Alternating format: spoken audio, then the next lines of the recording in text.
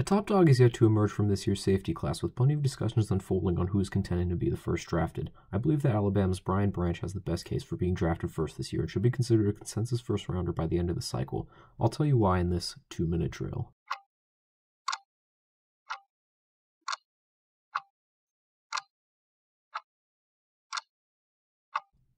Branch mainly lines up in the slot for Alabama, but has the ability to play as a deep safety in two high looks and even as a center fielder. His proficiency at multiple positions in the secondary should allow for a smoother transition into the league.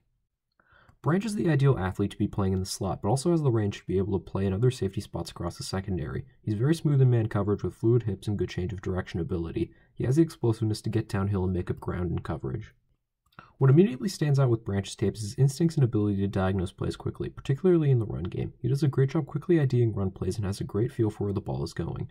He has the physicality and explosiveness to get downhill and blow by or dislodge blockers against the run. Branch excels in coverage, particularly playing closer to the line of scrimmage out of the slot or manning up against receivers. Branch is a quick processor in zone and does a great job reading the quarterback's eyes and immediately positioning himself to break on the ball. However, he also has great range when playing deeper in coverage and has the ability to cover a lot of ground on the back end. Branch is very smooth in man coverage and has the athleticism to man up with most slot receivers.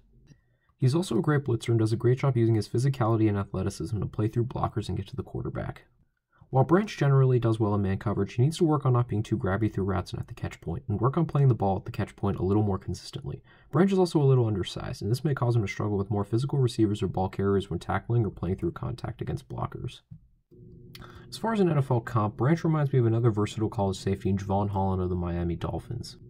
Similar to Branch, Holland played primarily out of slot at Oregon, but had the ability to move around the defense and play in multiple safety spots, which translated when he was drafted by the Dolphins, playing primarily as a free safety but moving around the formation of blitz or man up in coverage. I see Branch having a similar role once he enters the NFL. Like Holland, Branch should be able to move around the defensive formation depending on matchups, and will have fantastic utility as a run defender and blitzer, as well as providing great coverage ability across multiple levels of the defense. Holland was able to make an immediate impact because of it, and I believe Branch will do the same, should he land with a coordinator that maximizes his skill set. Overall, I believe Brian Branch is the best safety in the class and should be a first rounder come April. His all around skill set and ability to play at multiple levels of the defense will be enticing for any defensive coordinator out there, and he should be a high quality starter from day one. And that's the two minute drill.